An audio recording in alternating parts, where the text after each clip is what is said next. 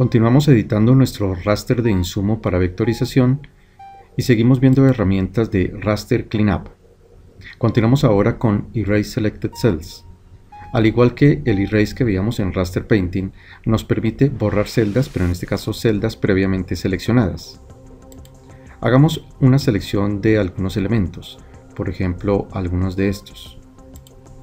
Vamos a tocarlos están seleccionados, nos dirigimos a Raster Cleanup, le decimos Erase Selected y se eliminan. Volvamos a Raster Cleanup. También tenemos Fill Selected Cells que nos permite rellenar celdas previamente seleccionadas. Veamos un ejemplo por este sector. La idea sería seleccionar estos píxeles que vemos allí y llenarlos automáticamente. En este caso nos vamos a valer de esta herramienta que veíamos en un video anterior hacemos clic en alguno de los grupos de celdas, por ejemplo aquí. Como vemos el sistema asume estas celdas también como celdas de fondo. Hago clic allí. Le voy a decir que seleccione grupos de celdas de determinada área.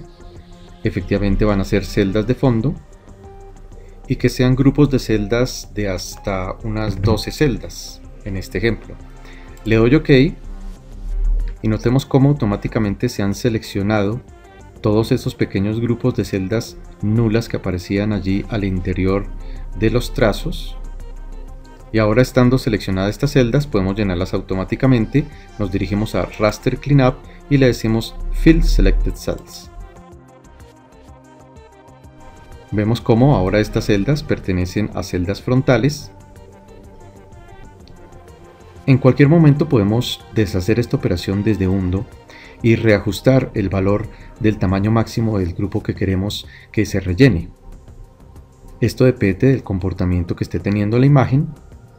El objetivo por supuesto es tratar de dejar lo más limpio que se pueda de píxeles que no se considerarán en la vectorización.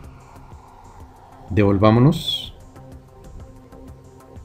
Aquí por ejemplo quedó otro pequeño grupo Quizás en este caso valdría la pena dejar estos píxeles sin rellenar para que al menos se note una separación entre las dos líneas. Volvemos a Raster Cleanup, tenemos erosión, esta lo que hace es que disminuye el ancho de todos los elementos frontales que tenemos allí. Ingresamos a erosión, podemos indicar qué tamaño en píxeles podemos disminuir el ancho de todos los elementos. Hagamos un ensayo aquí, voy a dejarle un valor de 1 justamente. Hay que tener cuidado que si este valor es muy grande, algunas figuras incluso podrán desaparecer. Probemos con este valor, le damos OK, el sistema procesa y como vemos se disminuyó considerablemente. En este caso no nos favorece mucho disminuirlo tan intensamente. Vamos a deshacer. Veamos ahora la operación opuesta a erosión. En este caso es la operación dilatar que aumenta el grosor de todos los elementos de acuerdo a una proporción, de acuerdo a un valor de entrada. Hagamos clic allí. Vamos a decirle un valor de un píxel. Vamos a darle OK para ver el comportamiento de la imagen. Aguardamos un momento. Y como vemos allí, aumenta el grosor de los trazos raster en los píxeles frontales. Esto puede ser útil cuando los elementos que se aprecian en la imagen raster están muy delgados. Volvemos a deshacer. Otro par de operaciones son la operación opening y la operación closing. Con opening, el sistema lo que hace es que adelgaza e inmediatamente incrementa el ancho de las figuras. Esto produce un efecto interesante porque puede ser útil para quitar líneas muy delgadas, líneas que además no interesen para la vectorización. Esto puede ayudar en parte a desaparecer, por ejemplo, líneas delgadas como estas que se ven aquí, que correspondían a la grilla o cuadrícula de la imagen original. Hagamos una prueba de opening aquí. Vamos a darle un valor, el mínimo allí, 0.5. Le vamos a dar OK. Aguardamos un instante y buena parte de la grilla, buena parte de esas líneas que veíamos han desaparecido.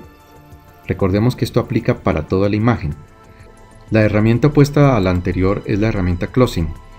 Esta funciona al revés, primero se aumenta el ancho de los elementos e inmediatamente se disminuye, esto genera un efecto de suavizado y podría ser útil para rellenar pequeños espacios entre píxeles frontales. Según el comportamiento de la herramienta será decisión del diseñador si la acepta o no.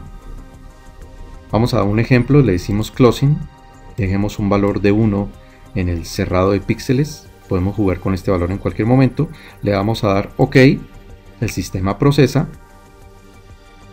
Y si se alcanzó a notar efectivamente se han suavizado los elementos pero en este caso también ha sucedido que muchos espacios que teníamos de píxeles de fondo se han rellenado ya que estaban muy cerca los píxeles frontales entre sí.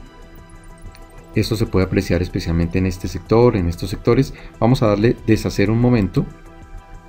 Notemos por ejemplo aquí, voy a decirle rehacer y quizás en esta circunstancia, si bien se han suavizado las líneas, no nos favorece que se cierren tantos elementos. Volvamos a deshacer. El suavizado producto de un closing puede ser útil según las circunstancias con líneas naturales como drenajes, curvas de nivel, también con límites de áreas de suelos, coberturas, entre otros. Vamos a mostrar nuevamente toda la imagen Con paciencia, con intuición y probando una y otra vez las diferentes herramientas de limpieza de nuestro raster, podemos llegar a una imagen que sea más satisfactoria para nuestro proceso. Recordemos que el propósito es dejar la menor cantidad de píxeles innecesarios, borrar textos, tratar de eliminar líneas innecesarias como la cuadrícula, jugar con lo ancho o lo delgado de los elementos, etc. Periódicamente debemos estar salvando nuestro proceso y en cualquier momento podemos terminar nuestra limpieza desde Raster Cleanup diciéndole Stop Cleanup. Vamos a terminar en este ejemplo aquí, clic en Stop y se vendrá luego propiamente el proceso de vectorización.